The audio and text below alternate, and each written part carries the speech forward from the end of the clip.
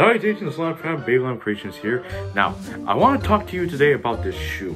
There's so many interesting things you can do with it. For instance, you could... Wait a second.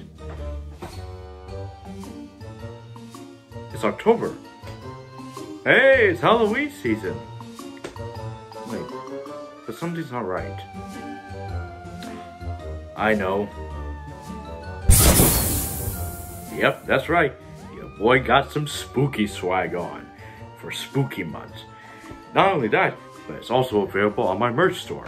So if you want to wear something very epic for Halloween this year, go to my merch store on TeePublic at Baby Lamb Creations 143 and get yourself an awesome spooky jack-o'-lamb t-shirt to wear. And just to let you know, no, this isn't my Halloween costume or anything like that. I'll reveal to you what I'm going to be wearing for Halloween very soon. Well, if you haven't seen my community post anyways. Anyways, happy Halloween! Uh, uh, uh.